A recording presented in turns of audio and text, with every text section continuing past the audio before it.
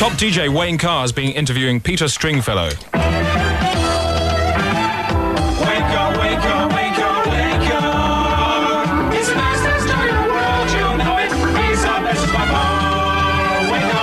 Sure, now let's look at the way the new club works. How does it work? You've got a no touching thing going on, but with money. Okay.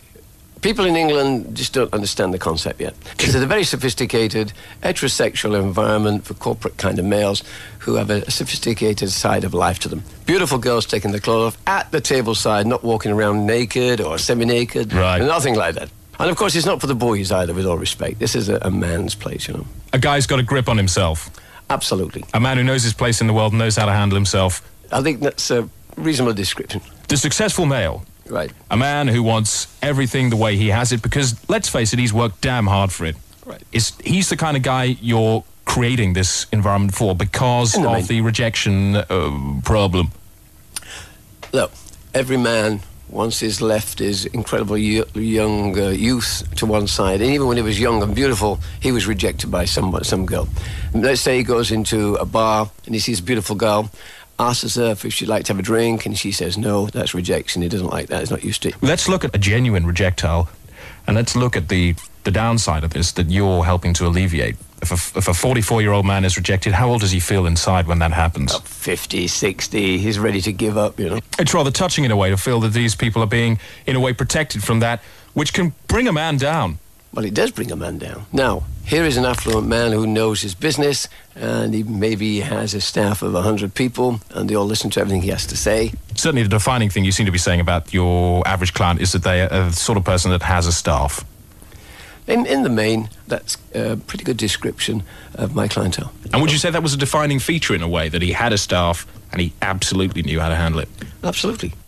If you came back as an article of clothing in the next life, what would it be? Oh, that's an easy one. It would be white, it would be slightly frilly, not too big, and it's known as a G string. Girls. And That would suit me fine. Would you like to wear it?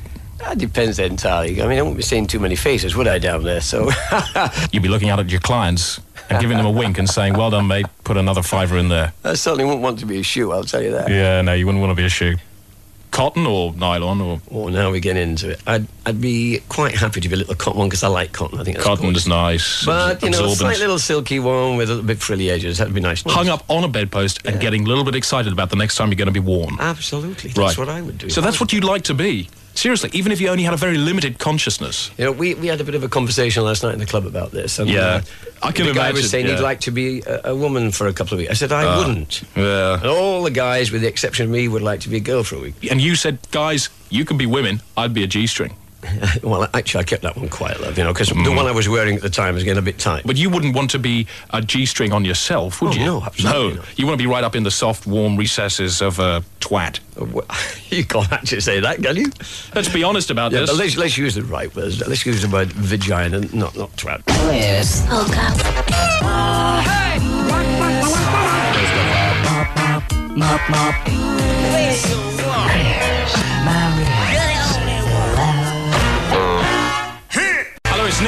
somewhere. Oh, Neil. yes. Yeah, how you doing? Okay, fine. I, You want to take part in the cow quiz? I believe so, yeah. You do, okay. You know you what you stand to win. Uh, no, not exactly. Okay, you have a choice. You can either have a, a picture taken from 1FM's roadshow last week of Nicky Campbell talking Latin to somebody who's about to die, or you could come in on the show and actually watch the thing being put together. Okay? Right. Great. Okay, let me just uh, play in the jingle for you. Hang on. Okay.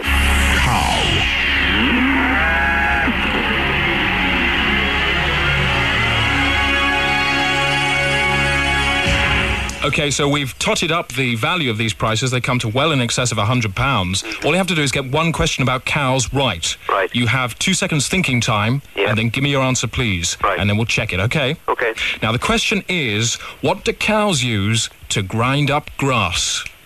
What do cows use to grind up grass?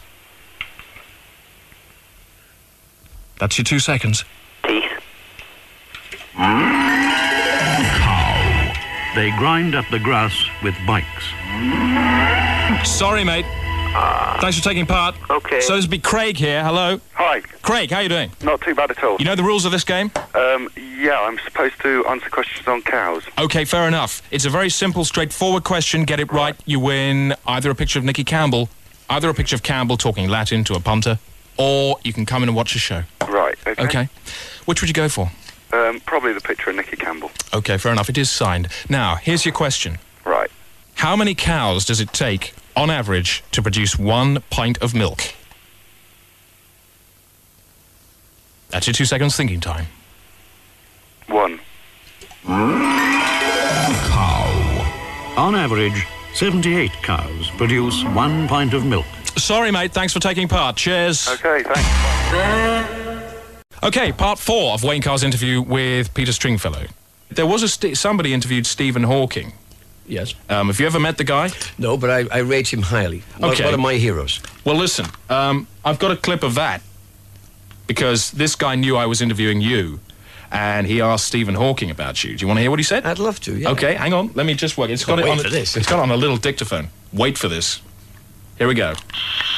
Peter Stringfellow is a public menace and, in my view, should be excluded from society. Are you sure that wasn't Doctor Who?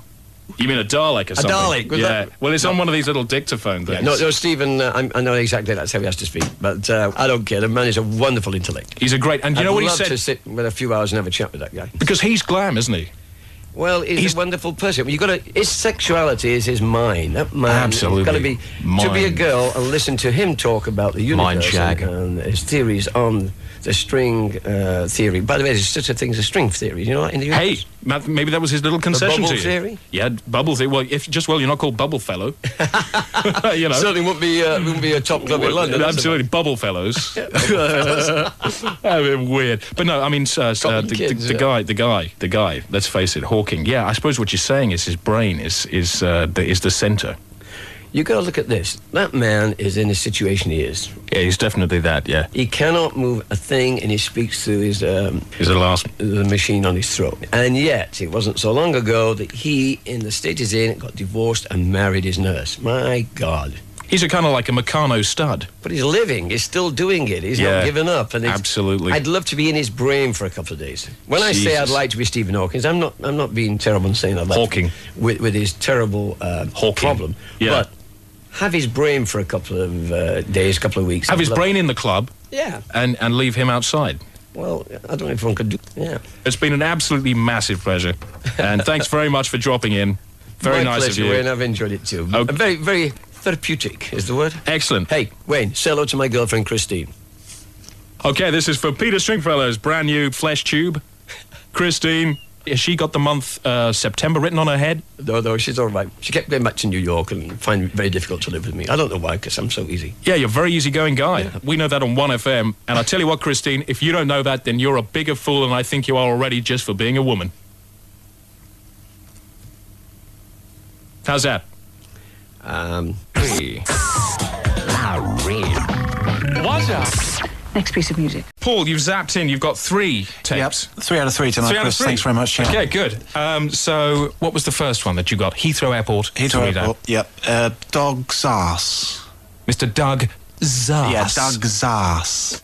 Would Doug Sars please contact the airport information desk to take a telephone call? Doug Sars, please contact Very airport pro- information. Don't giggle. Okay, and uh, number two, Yep. Heidi Drags Quick. perfectly reasonable name. Heidi Dragsky, please contact airport information. Heidi Dragsky to airport information. Heidi Drags. Heidi Drags Quick, man. Did, did, did anybody notice that? Yeah, there was a couple of chuckles. Mm. Yeah, yeah, noticed Which it, must be your raison d'etre, really. That must make you feel big and tall. Absolutely, it gives me a meaning of life. Yeah. And the last one, which I don't understand the name of at all, Enolfa Kerr. Mr. Enelfa. Kerr. Mr. Anul Fakar, please go to the meeting point. Anul Fakar to the meeting point. That's very successful, yeah. isn't it? Yeah. We did well done. Thanks very mm-hmm. much. Okay.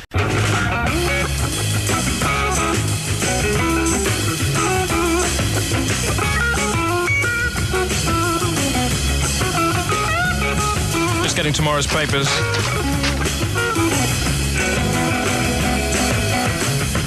Should say thanks to Paul, thanks to Ollie, thanks to Rebecca. Uh, thanks to Peter Baynham, who's in hospital at the moment. He's not actually been around tonight. He is, though, at Edinburgh in the Pleasance Theatre, 8.15 every weekday evening doing his one-man show. Illness didn't stop him winning the Perrier Award this year, which he did for the fifth time running, so well done to him. And he'll be participating in the Theatre Dementor show in Edinburgh for the rest of the week. This is when a group of insane people are released into Edinburgh for a day uh, with video cameras, and the resulting mayhem is projected onto big screens all around the city. The show's called A World Without Blair, and it's a really beautiful piece of living social criticism. It's been snapped up for BBC Two for a series next year. Wankers.